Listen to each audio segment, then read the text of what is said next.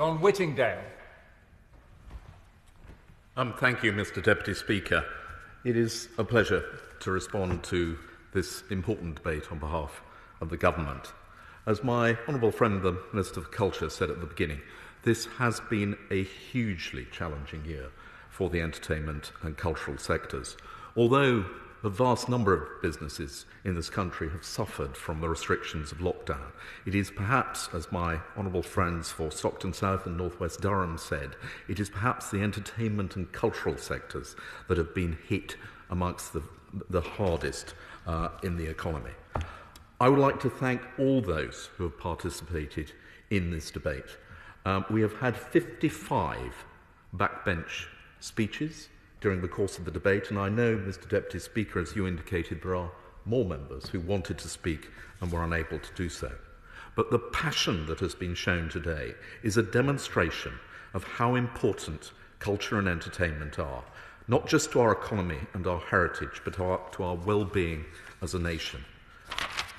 A number of speakers have, have uh, emphasised this by pointing out the economic contribution that the creative industries make. In particular, my honourable friends for Clacton, High Peak, Berry North, Bolton West, Chipping Barnet, all uh, po- pointed to the vast contribution 116 billion pounds which the creative industries make, supporting 2.1 million jobs. But they also went on to point out that it is not just an economic contribution. The cultural industries and entertainment sector are critical to the well-being of the nation. They bring joy to us.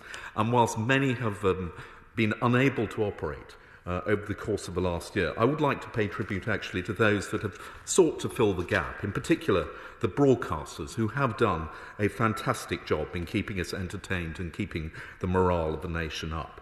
But it is not the same as being able to enjoy at first hand the cultural interactions uh, that bring so much value to our lives. And I think all of us yearn to be able to walk through a museum again, to sit and watch a play, or in my own case particularly, to go to the cinema or to enjoy live music. Like the members for Cardiff West and Perth and East Perthshire said, live music brings an enjoyment which all of us feel is absent from our lives. And I particularly um, have taken note of a recommendation of my honourable friend the Keithley to go and look out Deco as soon as, uh, and the mashups they do as soon as uh, I'm able to do so again. A number of members have spoken with great power about the cultural institutions and their own constituencies. We are, of course, familiar with the West End Theatre, which is famous throughout the world. But there are other theatres in London, like the Theatre Royal Stratford, mentioned by the Honourable Member for Barking, or New Wimbledon Theatre, uh, mentioned by the Member for Wimbledon.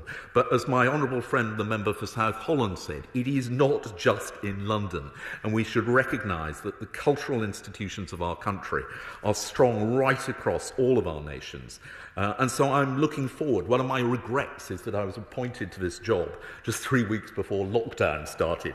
And I wish for the day when I can go out and visit some of the places that have been mentioned the Opera House in Buxton, the railways of Darlington, the zoo in Dudley, the castles in Dover, and indeed even funny girls in Blackpool. Um, the best support that we can give to all of these cultural institutions is an assurance that the time when they can reopen is coming. That is why the roadmap is so absolutely critical, as my honourable friend, the member for Gravesham, pointed out, as indeed did the member for Bracknell. And we do now have a clear plan uh, which is irreversible. Uh, we have a certainty that we can give as to when these institutions can start to operate again. And I, I of course, understand people would rather that it came sooner, but I can say to my honourable friend for Gra- Bracknell that grassroots sport, including golf, will be able to resume from the 29th of March. And the reason that we have been able to offer this assurance has been, as my honourable friends for Blackpool South and for Dudley North pointed out, the success of the vaccination programme. Um, and I pay tribute to all those who have worked so hard uh, and continue to do so to roll it out, including indeed the member for Dudley North, who said that he was a volunteer in his local vaccination centre. Because the worst thing that could happen to our cultural institutions is to give them a date on which they can reopen and then have to reverse it again. All of us know of the uh, huge disappointment and indeed cost to many who had planned to reopen. I think, in, just as an example, Bill Kenwright's Love Letters, which was due to reopen uh, at the beginning of December, and just a few days later, London was put back into Tier 3 status and it wasn't able to go ahead. So we do need to be relatively confident um, about those dates. And several honourable members mentioned the work that the department is doing, particularly to explore how large e-, events can return, um, preferably without social di distancing and restrictive capacity caps. And so I wanted to uh, assure the honourable members for Loughborough, for Chipping Barnet and for Wimbledon that we have established the events research programme to look at how those large events can resume. And in doing so, we are looking at the pilots which were conducted uh, last year uh, to consider the effectiveness of various measures to reduce the transmission risk in large venues, including uh, testing. And officials from my department and the Department of Health are working closely to combine the re- existing work streams into one overall research programme.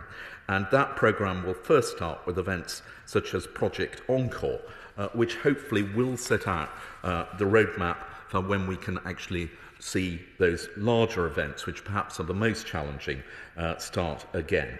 But a number of my honourable friends have recognised the huge commitment that the government has made uh, to the cultural sector through the £1.57 billion Cultural Recovery Fund. And I'd like to thank my honourable friends for Haywood and Middleton, for Gloucester, uh, for North Norfolk, for recognising the strength of that commitment. And indeed, my honourable friend for Warrington South, who pointed us on top of the £1.57 billion at the £500 million uh, film and TV production restart scheme. And of course, the government recognises the need to continue that support until these institutions can reopen once again.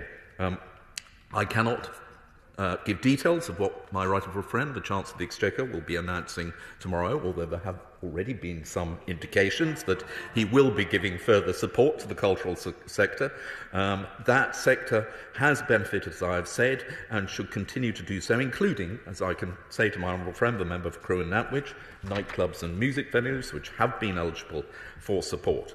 Uh, but the, what I can say to the House is that, as many have recognised, our cultural and entertainment sectors are world leading.